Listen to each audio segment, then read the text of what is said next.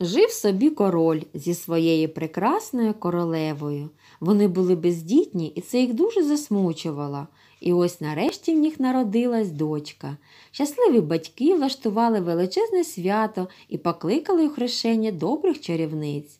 Феї подарували маленькій принцесі вроду, добру вдачу, ніжне серце та різні таланти. Аж раптом з'явилась стара чаклунка, яку не запросили на свято, і промовила принцеса вколе собі палець веретеном і помре. Усі жахнулися, але тут одна чарівниця голосно сказала Не плачте, я можу трохи змінити це пророцтво. Коли принцеса вколе собі палець веретеном, вона не помре, вона засне глибоким сном на сто років, і одного разу прийде молодий принц і розбудить її. Незважаючи на цю обіцянку, король видав наказ, що забороняв усім у королевстві користуватися веретенами під страхом смерті.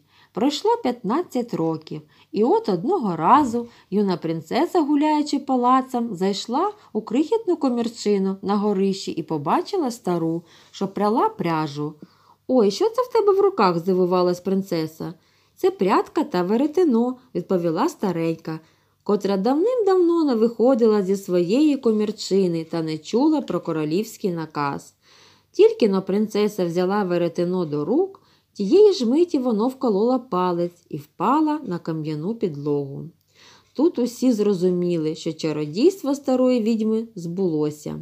Король наказав віднести принцесу до найкращої кімнати замку, вбрати у найкрасивішу сукню та покласти на постіль з парчі золота та срібла. А добра фея, довідавшись про те, що трапилось, відразу примчалась до палацу. Вона доторкнулася чарівною паличкою до всіх підданих, і вони разом із принцесою поринули в сон.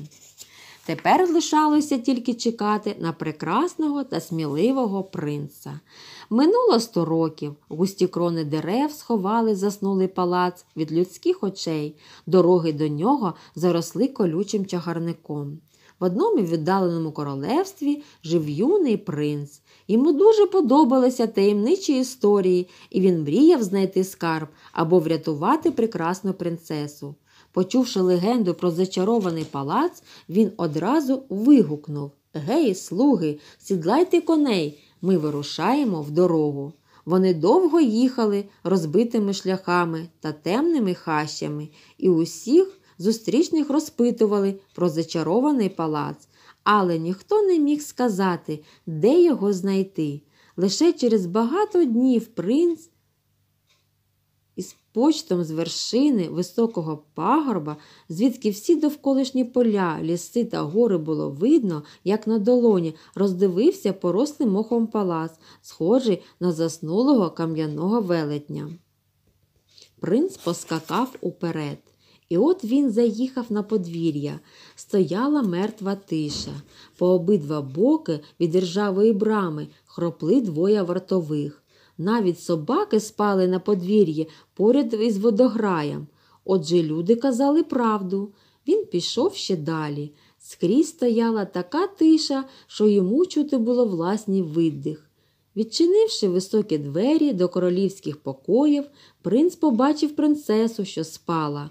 Вона була така прекрасна, що юнак очей не міг одвести від неї. Королевич схилився і поцілував її. І тільки но він її поцілував, красуня розплющила очі і привітно глянула на нього. Це ві? Це ви, мій принце? вигукнула вона, прокинувшись від його поцілунку. Разом із принцесою ожив весь палац. У дверях стояли король, королева та придворні. Усі сяяли від щастя. Хай живе наш рятівник. Вигукнув король. Такого прекрасного юнака варто було чекати аж сто років.